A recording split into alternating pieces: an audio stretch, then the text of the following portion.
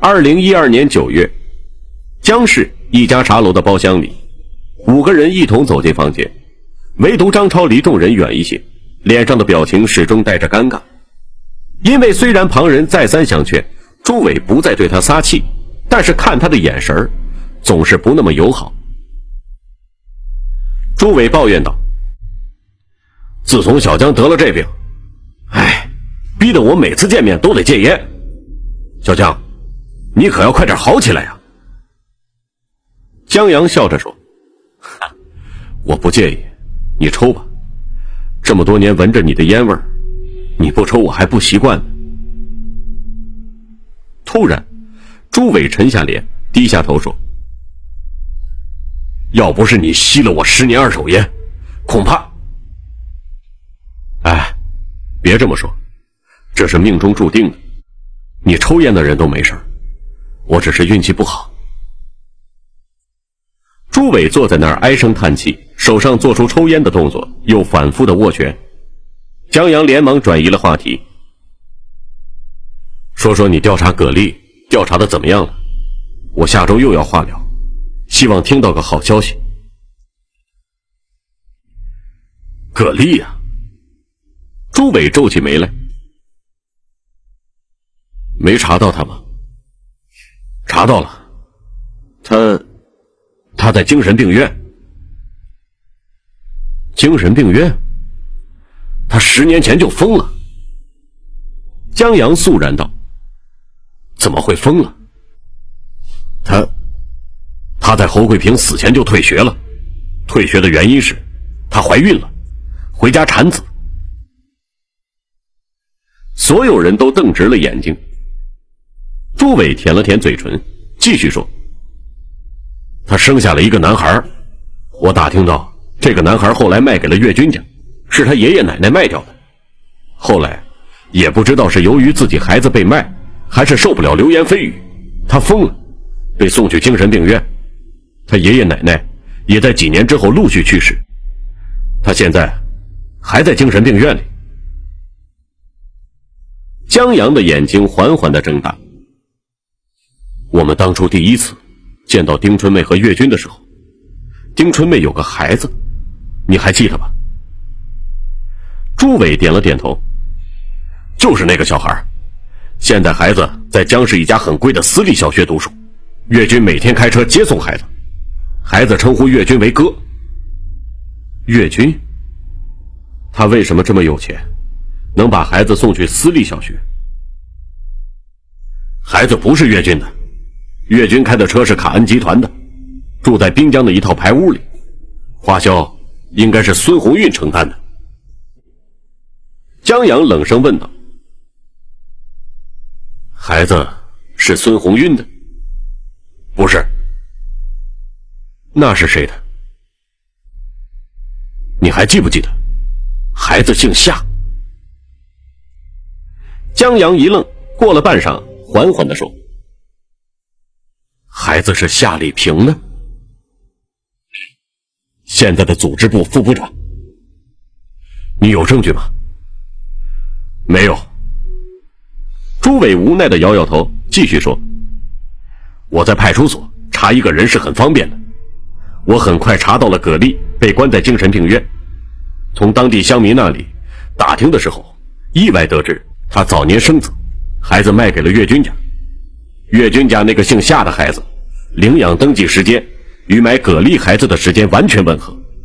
我经过多番打听，在青市、江市两地调查，终于找到了这小孩。我也去过精神病院，从医生那里知道，葛丽在里边的所有费用都是胡一浪给的。这孩子每过几个月会去精神病院看望葛丽，平时生活在江市。我还通过跟踪发现。夏丽萍经常周末来找孩子，带他出去玩。夏丽萍另有家室，有个成年的女儿，估计得了这个儿子特别重视，所以冒着被人知道有私生子的风险去找他。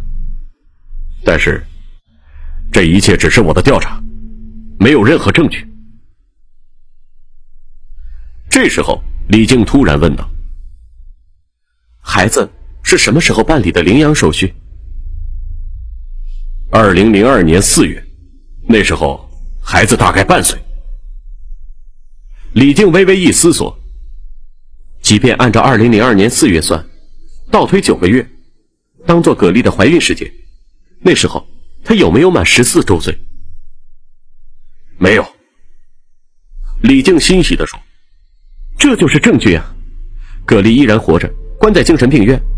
你们派出所肯定能拿到葛丽的户籍信息，只要把小孩和葛丽、夏丽萍的血液进行亲子鉴定，不就能证明孩子是夏丽萍和葛丽的吗？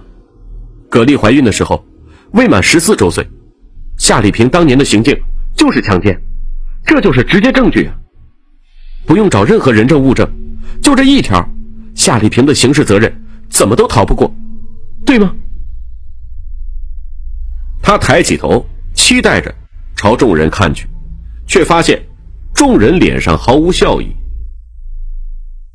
法理上，我没说错吧？他再次从众人的表情中寻求支持，却发现无一人回应。过了一会儿。丈夫张超缓缓的开口：“你说的很对，可是没有办法操作。为什么？”李静不解。夏丽萍是组织部副部长，你去举报，说她和一个精神病女人生下一个私生子，纪委会问你，证据呢？没有。只能做亲子鉴定，可是凭什么做亲子鉴定？如果毫无凭据的举报，就要做亲子鉴定，那么不管谁举报哪个小孩是某领导私生子，岂不都要去鉴定？程序不是这样的，这样的举报是不可能被受理的。她看着众人的表情，明白了丈夫所说的，他们每个人都了解。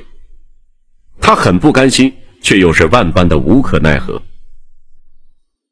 近在眼前的直接证据，完全足够定刑事罪名的直接证据，甚至可以通过夏丽萍被调查，将孙红运一伙一网打尽的直接证据，那么近，就是碰不到。就像一条关在玻璃房里的狗，草地就在面前，可是踏不出去。过了一会儿，张超吸了口气，又开口说道。江阳，这件事儿就暂时放在一边，你安心治病，我当你的律师，我替你向检察院申诉，平反你的三年牢狱之冤。朱伟忍不住冷笑：“哼，张大律师收费可不低呀，我跟小江可没这么多钱。至于老陈愿不愿意聘请你这大律师，得看他的意思了。”要知道，当年可是你害小江入狱的，谁知道你的心思？